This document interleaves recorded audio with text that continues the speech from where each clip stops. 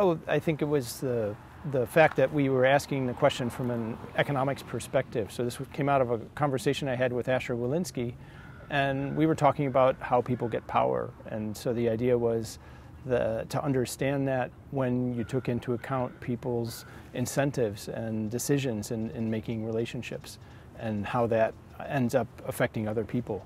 So it, it was a, you know, people have been studying networks for a long time. What we, we brought to the picture was the idea that, that um, there's costs and benefits associated with relationships and that the, you know, my choices in who I listen to and what I learn actually ends up affecting my friends and, and they get value from the more I learn. And so we tried to understand what that meant for network formation. And over the years, I think it's become clearer not just that an economic perspective on how networks form is important, but also there's lots of places in economics where networks matter. So trade networks, as we've seen, you know, disrupted supply chains matter, financial contagions, um, how people get jobs. So there's lots of applications that have economics importance and uh, economic importance as well.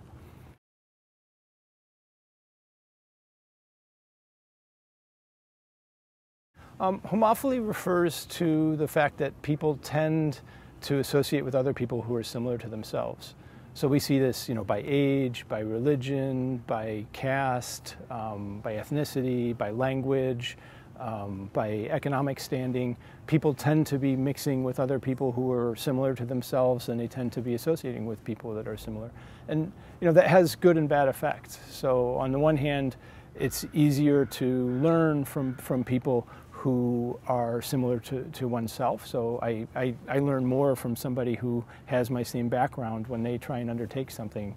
Um, so if a, if a, kid is trying to decide whether they should go to university, um, somebody else who's very similar to themselves can give them good information about that.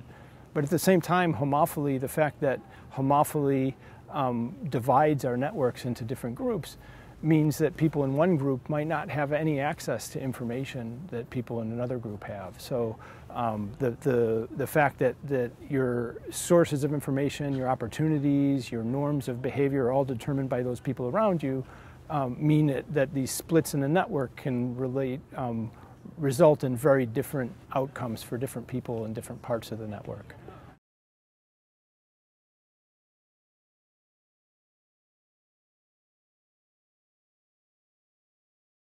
Yeah, so there's, a, there's actually an amazing paper that was written by uh, Sir Francis Galton in 1907, and it was called Vox Populi, um, the voice of the people.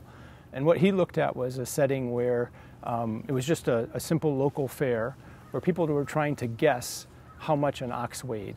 So everybody could look at the ox and then try and guess how much it weighed. And the actual weight of that ox was 1,197 pounds. Um, the average guess in the population was actually 1,198 pounds. So the, the, the, population, there were about 780 some guesses.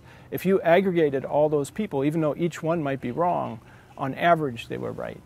And so the question is, you know, in a society, um, how do we get that information aggregated? So maybe I have um, my opinion about something. I can talk to my friends. I, I, can get their opinions and update. And if you keep doing that, so I did some uh, studies with Ben Golub where we looked at in the network, if I kept asking my friends what their guesses were and, and kept averaging those and so forth, you could lead, um, eventually get a very good guess. Um, so the network can aggregate things really well, but it, it takes a few things to be true. One is I can't be too overconfident in, in my own opinion. I have to listen to other people. Um, I have to listen to a broad set of people, and, and, the network has to be evenly balanced that way. And it also has to be that we don't in, intense, uh, um, in, intend to deceive other people. So we, we have to be truthful. And you know, all of those are problems, especially in modern social media, where, where things can go wrong.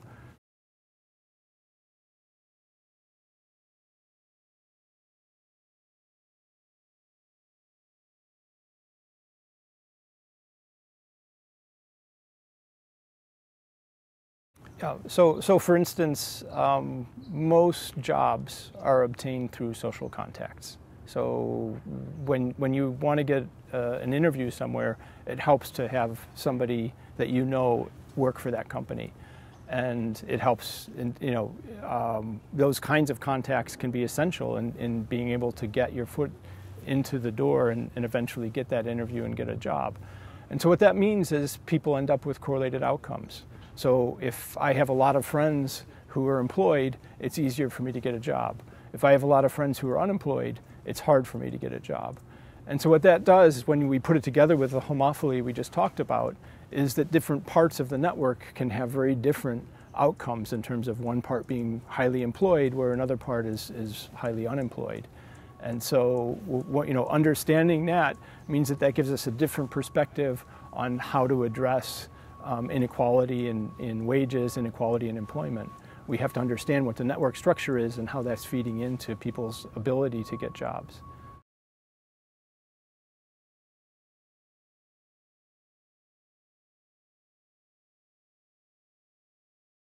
Yeah, so when we think about a, you know, a basic um, disease spreading, what is true is the more contacts I have, the more chance I have to catch it. And the more contacts I have, the more chance I have to spread it. Um, when you look at a financial network, there's, there's actually more forces at work than just this simple contact. Um, so think of a, of a bank and imagine that it has four partners. So if it's just working with four other partners, if one of those goes bankrupt, um, that could be a major disruption in the bank's business because it's a quarter of their business. If instead they're working with 100 other banks, then if one of them goes bankrupt, that's only 1% of their business. So in that context, you know, working with more other uh, banks and having a denser network and a bigger network can actually be um, enhancing in terms of stability and help diversify things. Whereas when you're talking about simple contagions, uh, that actually makes things worse. So, you know, financial contagions and understanding how they work requires a, a, a, different kind of understanding of the network contagion and a different understanding of what banks' investments and exposures are um, to other banks.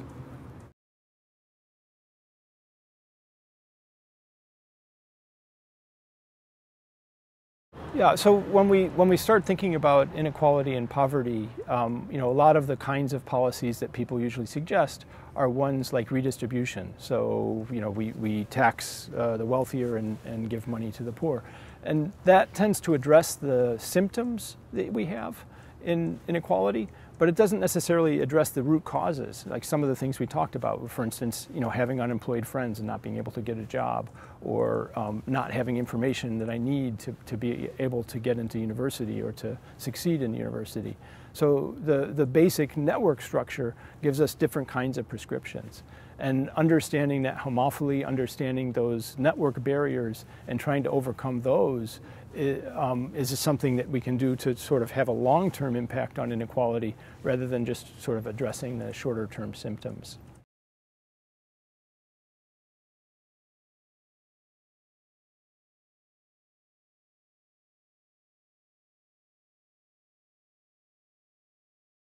Yeah, I mean, one, one thing that's true is as we've looked throughout history and economies have become more intertwined, that means that countries have less and less incentives to go to war to, with each other. Um, it, at present, the kinds of sanctions that are being put in on, on Russia um, and Belarus um, to cut off some of the banking opportunities that they have, to cut off the financial ties that they have, to cut off social ties where, where their population can be moving in and out of the country, those things can have an impact and, and cause great harm to them.